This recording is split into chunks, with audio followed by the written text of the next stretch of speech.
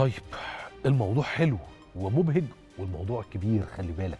يعني لا 18 مليار إيه؟ أصبر بقى. إحنا هنا نرحب اولا بضيفنا العزيز دكتور فرج عبد الله الخبير الاقتصادي الكبير وعضو الجمعية المصرية للاقتصاد السياسي والتشريعي. إزيك يا دكتور؟ يا أهلا وسهلا. وحشني قد الدنيا ده ربنا. يبارك في عمرك الله يخليك.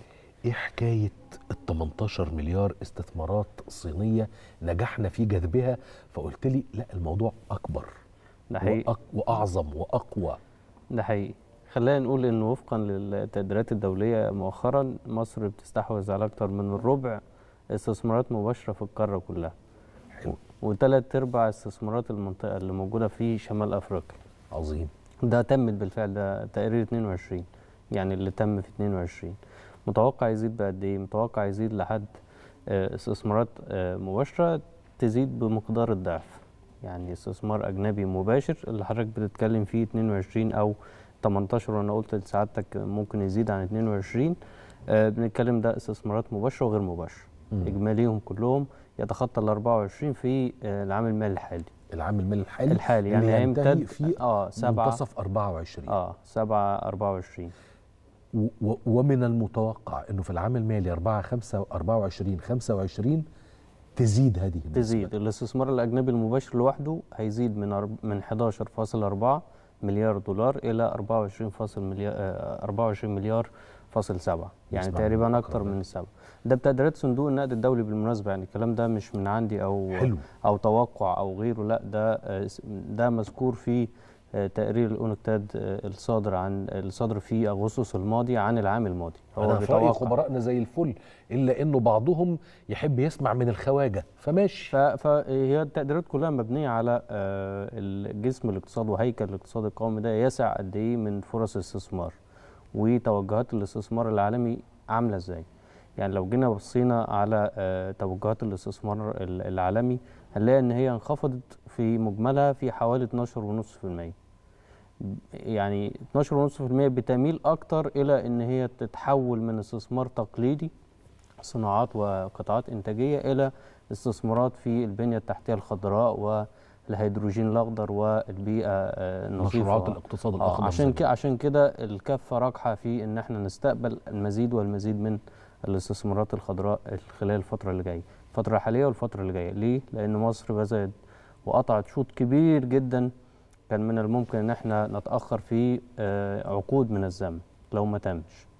ده آه، فرصة طيبة جدا وجيدة جدا لاستقبال المزيد والمزيد من الاستثمارات سواء كان في المنطقة الاقتصادية لقناة السويس أو في عدد من المناطق الل- اللوجستية اللي ممكن تستقبل أنماط من الاقتصاد الجديد. تاخد في أبعادها التحول الرقمي إلى آخره من آه، ال- البيئة التكنولوجية الجديدة. ويمكن إحنا شفنا أو ما فيش حد ماشي في يعني بيمشي في أي حتة في مصر لو بيلاقي مدن جديدة صحيح بتاخد في اعتبارها المعايير البيئية اللي بتعتمد بشكل أساسي على الاقتصاد الأخضر وعلى آه، ال- التكنولوجيا الخضراء في آه، تأسيسها. آه، متوقع طبعا إنه يكون في تنوع كبير في محفظة الاستثمار في مصر الفترة اللي جاية عن الفترة اللي فاتت. يعني الفترة اللي فاتت إحنا كنا بنتكلم بشكل كبير عندنا استثمارات من أوروبا عندنا استثمارات أكتر من أمريكا عندنا استثمارات تميل إلى الغرب بشكل كبير. المك- المقبلة إحنا بنتك... بنتكلم بقى على استثمار متنوع هيميل أكتر إلى الشرق في دخول الصين آه، داخل القارة الأفريقية بشكل كبير جدا آه، من خلال مصر. يعني يمكن مصر هي البوابة الأساسية لدخول الصين للقارة الأفريقية. هي موجودة بالفعل ولكن هتعزز من تواجدها في ناحية الاستثمار والتجارة وصياغة أطر مختلفة خالص عن اللي فاتت في آه، ملف الاستثمار. الاستثمار هياخد شكل مختلف خالص عن الفترة اللي فاتت. كنا بنتكلم عن استثمار أجنبي مباشر أو غير مباشر أو نوع من الشراكة اللي موجود إلى آخره. الوضع مختلف خالص. دلوقتي هيكون في شراكة متعددة الأقطاب جنسيات مختلفة بالشراكة مع القطاع العام والقطاع الخاص. القطاع العام اللي هو الحكومة والقطاع الخاص المحلي. فهيكون في مزيد من آه، فرص الدمج والاستحواذ لشركات كتيرة. يمكن وصلت في مجملها أكتر من 23 مليار في السنة اللي فاتت. يعني الاستثمار الأجنبي الغير مباشر الخاص بالاستحواذ يمكن تخطى ال 23 مليار. ده رقم ضخم وكبير. دي كلها استثمارات وافدة من الخارج. آه هي بشكل غير مباشر في مشروعات قايمة ولكن المشروع طالما هو قائم وحضرتك يعني على دراية كافية بهذا بهذه الأمور بيزيد آه، من التوسع بتاعه بيدي فرص أكتر للنمو وتحسن آه، المستوى العام للنشاط الاقتصادي ككل. إيه السر ورا إنه الصين خدت قرار إنها توسع من حجم استثماراتها في مصر من جهة وإنه تعتبر إن مصر هي البوابة الكبرى للاستثمارات الصينية في إفريقيا؟ الصين دخلت إفريقيا من سنين. ده حقيقي. وأنا أظن إن إحنا كنا بعاد عن ده بشكل أو بآخر أو على الأقل بشكل نسبي. نعم. طب إيه اللي شجع الصين لده؟ هل هي مسألة دخولنا في مجموعة البريكس أم أن هناك اعتبارات أخرى أصبحت تنظر إليها الصين؟ آه، يعني الاثنين. أنا في تقديري في ثلاث اتجاهات لدخول الصين وتعميقها التواجد في مصر والقارة الأفريقية. الاتجاه الأول إنه آه، الصين مجرد إن هي بتدخل لوحدها في أي دولة آه، أفريقية بتقابل بعض الصعوبات. الصعوبات دي بتتلاشى لو دخلت مع جانب مصري. مم. ليه؟ لأنه آه، الأفريقي أو الشع- الشعب الأفريقي عموما بيبص على أن أي حد جاي من بره على أنه مستعمر مهما كان. إلا إذا دخل باستثمارات مع مع جانب مصري أو جانب من آه، القارة الأفريقية الوضع بيختلف تماما. فدي ده الجانب الأول. الجانب الثاني هي بتعزز من تواجدها في في القارة بشكل بشكل عام والتجاري بشكل خاص يعني. عشان كده بتهتم بتعزيز ال- ال- التعاون مع القاهرة بالتحديد عشان تقدر تدخل آه، ويعني وتنفذ إلى الأسواق اللي موجودة في آه، آه، أفريقيا. خصوصا إنه ما عندوش مشكلة خالص إنه يخش مع جانب مصري محلي ويفتح أسواق جديدة. وين وين سوليوشن يعني. طبعا. يعني يكسب ويكسبنا معاه يعني الكل يكون رابح. الكل رابح يعني. عشان كده ده الاتجاه الثاني الاتجاه الثالث إنه هو هنا بقى المكسب السياسي. هو بيلعب على إنه مين من المنطقة آه، رمانة الميزان مين من عنده التجارة بتعدي دولية بنسب كبيرة مين آه، له ثقل سياسي في المنطقة. عشان كده بيعزز الروابط معاه بشكل قوي عشان يقدر يزود آه، يعني ثقله ال- ال- الدولي. إحنا بنتكلم على البريكس خم يعني خمس دول. هينضموا ستة. من أصل 40 دولة كانوا مقدمين صحيح. طلبات انضمام. 40 دولة ده رقم ضخم بالمناسبة. آه كمان في إشارة من أنه آه في آه منتدى آه الحزام والطريق مؤخرا ال- الاجتماع الأخير مم.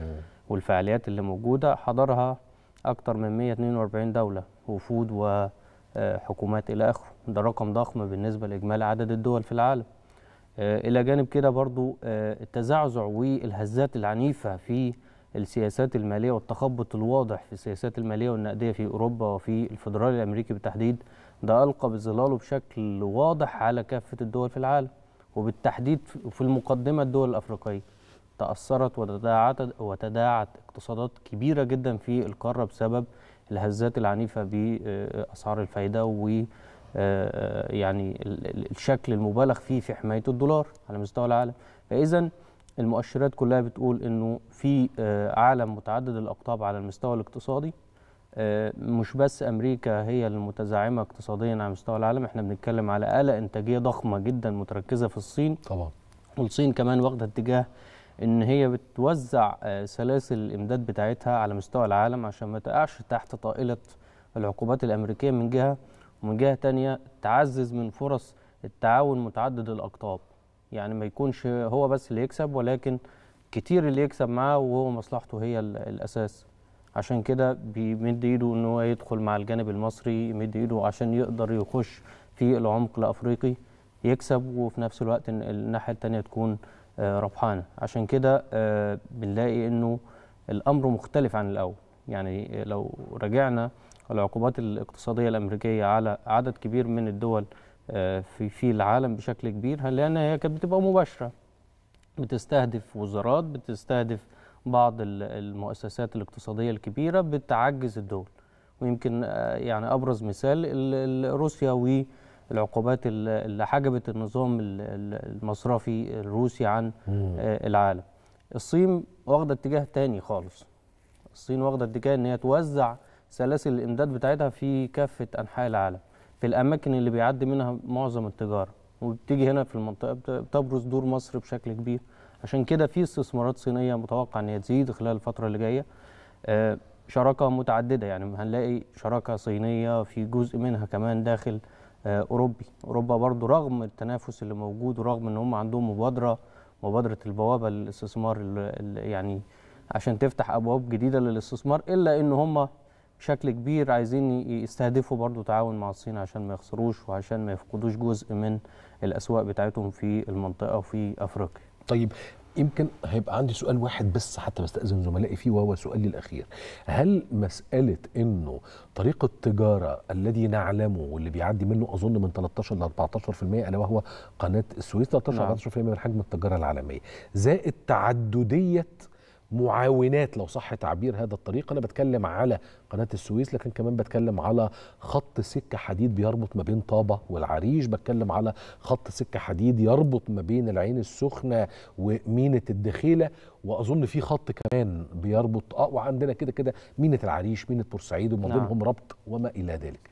زائد وده برضو سؤال يعني جزء من السؤال البناء المصرفي أو الهيكل المصرفي المصري وقدرته على التعامل في ظل الهزات الاقتصادية أو الهزتين الاقتصاديتين الكبريتين خلال الأربع سنين اللي فاتوا. هل دي عوامل ساعدت في مسألة جذب الاستثمارات الصينية من جهة أي شرقا أو جنوب شرقا والاستثمارات الأوروبية من الشمال؟ بكل تأكيد إحنا لو جينا راجعنا آه، ملف المناطق الاقتصادية في مصر هنلاقي إنه في تدفق لرؤوس الأموال الأجنبية بشكل كبير أو الاستثمار الأجنبي المباشر في آه، من روسيا ومن ألمانيا ومن فرنسا من فرنسا ومن الصين في مناطق كتيرة جدا في الجمهورية. ده مؤشر على إنه هناك رغبة حقيقية من الاستثمار ومن ملف الاستثمار الأجنبي في العالم إلى تواجده في المنطقة اللي بيمر منها آه، 13% من التجارة العالمية زي ما حضرتك تفضلت ومرشح للزيادة إن هو يصل خلال 10 سنوات اللي يبقى 30% أو 33% فاذا الشركات الع- العالمية العلامات التجارية الدولية آه، آه، خدت من آه، اللي حصل في أزمة كورونا وحالة الإغلاق الشديد من إن هي توزع كافة آه، سلاسل الإمداد في الأماكن اللي بيمر بتمر منها التجارة الدولية عشان ما تعطلش لأي سبب من الأسباب اللي موجودة. ده جانب. الجانب الثاني هو التنوع أو آه، يعني خلينا نقول رصانة الجهاز المصرفي والثقه النقدي اللي الدولة بتتمتع بيه. ده يدينا فرصة أكتر وده من خلال حضرتك يعني في مبالغات كبيرة جدا وشديدة جدا على الصرف الأجنبي. مش في محلها. صح. يعني مش في محلها. لو هنقيسها فعلا هنلاقي إن الدولار 22 23 25 في أعلى تقدير السعر الحقيقي. النهارده في بنتكلم أكتر من وكالة ومؤسسة مالية كبرى اتكلمت في ده حتى في الربع الأول والربع الثاني من هذا العام. بكل تأكيد فمن الممكن إنه آه، يعني ليلة أو ليلة وضحاها زي ما بين. عشية وضحاها. آه يعني تتقلب ال- الآية ويحصل ما في الأمور أمور ونلاقي الوضع اختلف خالص يعني يعني الأمور كلها مطروحة مطروحة بشدة كمان خصوصا إن العالم بيتعاد تشكيله مرة تانية مم. العالم كله بيعاد تشكيله مرة تانية مش النهارده بتأسس ليه من أكتر من عشر سنين يعني. وإحنا لاعب أساسي فيه ويعني قطعنا شوط كبير جدا في آه، ملف الاستثمار والاقتصاد بشكل كبير يعني. إحنا لو بنتكلم على المشروعات اللي تمت أو الخطط اللي موجودة والدولة مؤسسه ليها واشتغلت عليها وجهد كبير جدا ليل ونهار شغالين عليه ما كناش هنقدر نعمله حتى لو بعد 20 سنة. في الظروف للأسف ال- الحالية اللي إحنا بنشهدها الآن.